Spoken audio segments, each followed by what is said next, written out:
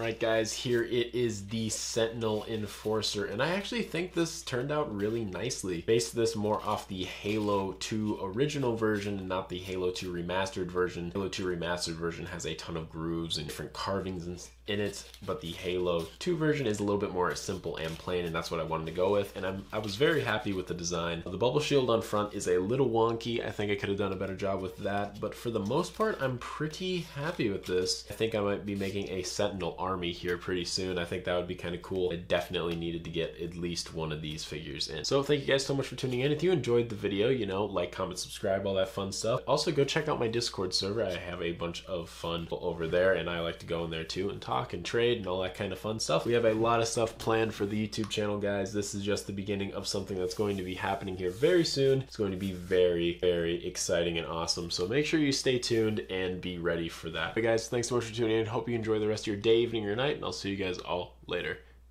Peace.